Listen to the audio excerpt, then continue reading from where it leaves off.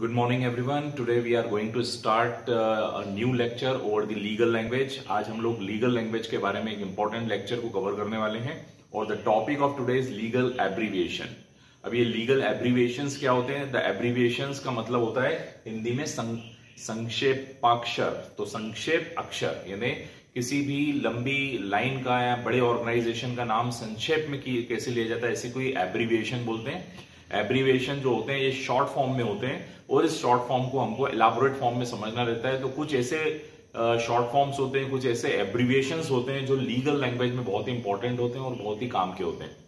तो आइए समझते हैं जो कॉमनली यूज़ एब्रीविएशन है, वो कौन कौन से लॉ की फ़ील्ड में। आइए स्टार्ट करते हैं। So today's topic is legal abbreviation या संक्षेपाक्षर। सबसे पहले आप सभी लोगों ने एआईआर शब्द सुना होगा। एआईआर जिसको हम कहते हैं ऑल इंडिया रिपोर्टर जितने भी सुप्रीम कोर्ट और हाई कोर्ट के जो जजमेंट्स होते हैं, वो किसी एक जर्नल में नोट होते हैं, उस जर्नल का नाम होता है ऑल इंडिया रिपोर्टर तो एआईआर जब भी आपके सामने शब्द आता है तो उसका एब्रीवेशन है ऑल इंडिया रिपोर्टर इसके बाद A R T dot A R T dot का मतलब होता है ए आर टी का मतलब होता है आर्टिकल यानी अनुच्छेद। यहाँ जहाँ पर article A R T dot लिखा हुआ है मतलब वो संविधान के किसी अनुच्छेद की बात कर रहा है, या किसी इंटरनेशनल प्रोटोकॉल ट्रीटी में आर्टिकल की बात हो रही है। तो आर्टिकल का मतलब होता है हिंदी में अनुच्छेद। इसको धारा नॉर्मली हम सामान्य कानूनों में इसको धारा के रूप में इस्तेमाल करते हैं बी ऑब्लिक ओ यदि आ जाए, यदि किसी भी लीगल ड्राफ्टिंग में या किसी प्लीडिंग में बी ऑब्लिक ओ आए तो इसका मतलब होता है बिहाफ ऑफ़ यानी बिहाफ ऑफ़ का मतलब होता है की ओर से। बिहाफ ऑफ़ कई बार माइनर की ओर से आपने सुना है गार्जियंस आ जाते हैं। तो बिहाफ ऑफ़ का मतलब की ओर से जो व्यक्ति रिप्रेजेंट कर रहा है बिहाफ ऑफ़ उसका शॉर्ट एब्रीवेशन है B B oblique O C A यहाँ पर सीए चार्टर्ड अकाउंटेंट नहीं है। यदि लॉ के फ़ील्ड में सीए लिखा हुआ है तो मतलब वो सिविल अपील की बात हो रही केस का जो शॉर्ट फॉर्म है, वो सिविल अपील है।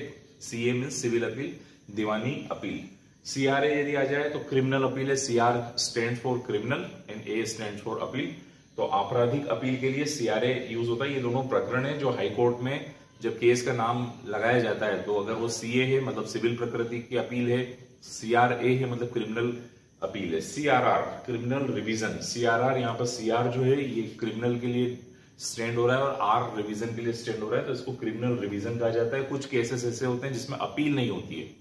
तो जिन केसों में अपील नहीं होती है वहाँ पे रिवीजन होती है और रिवीजन को पुनरीक्षण याचिका कहते हैं तो पुनरीक्षण यानी सीआरआर शॉर्ट फॉर्म में इसको सीआरआर कहते हैं। एमसीआरसी अनेक बार MCRC M N R C CR और सी तो एमसीआरसी ने मिसलेनियस यानी विविध क्रिमिनल केस तो ये होता है मिसलेनियस मिसलेनियस क्रिमिनल केस इसका मतलब होता है विविध फौजदारी मामला।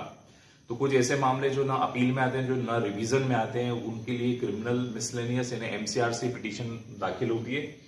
एफ़ ऐसे कई जगहों पे आपने केस के नाम के आगे एफए और ऐसे लिखा है। एफ़ मतलब फ़र्स्ट अपील ऐसे अगर आ जाए तो सेकंड अपील की बात हो रही है, प्रथम अपील द्वितीय अपील तो first appeal and second appeal F and ऐसे एल एल बी बहुत ही कॉमनली वर्ड यूज़ होता है एल एल तो याद रखेंगे, कई लोग एल के बाद डॉट लगाते हैं एल के बाद डॉट नहीं होता डबल एल के बाद डॉट लगता है।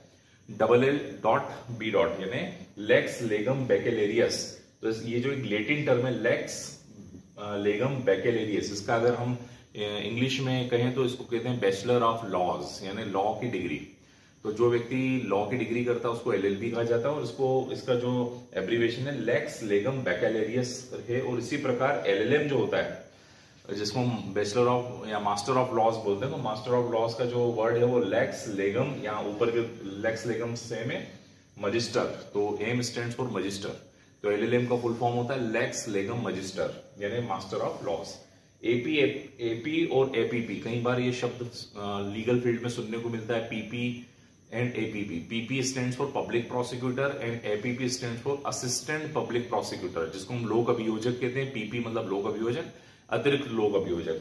तो PP means public prosecutor APP का मतलब ए आ गया तो असिस्टेंट पब्लिक प्रोसिक्यूटर है ना, अतिरिक्त अपर लोक अभियोजक जिसे हम कहते हैं। एडीजे एंड डीजे यदि वर्ड आ जाए तो एडिशनल डिस्ट्रिक्ट जज एंड डिस्ट्रिक्ट जज तो ADJ stand for additional district जज and DJ stand for district जज यानी जिला जज के लिए।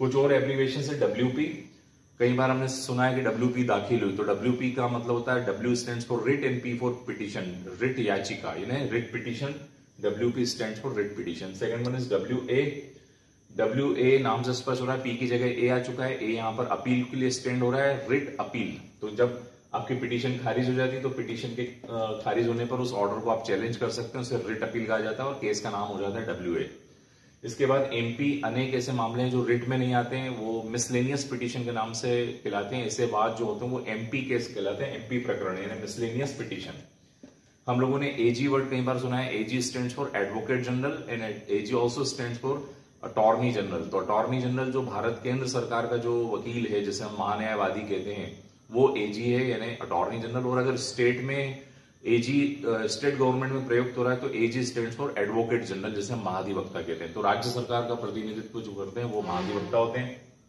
इसके बाद है सीजे यहाँ पर सीजे स्टैंड फॉर सिविल जज तो यदि निचली अदालतों में सीजे का इस्तेमाल हो रहा है तो CJ class one CJ class two यानी व्यवहार न्यायाधीश, प्रथम वर्ग, व्यवहार न्यायाधीश, द्वितीय वर्ग। जैसे डीएम यूज़ होता है डिस्ट्रिक्ट मजिस्ट्रेट यानी जिला दंडाधिकारी, जिला मजिस्ट्रेट यानी कलेक्टर के लिए यूज़ होगा।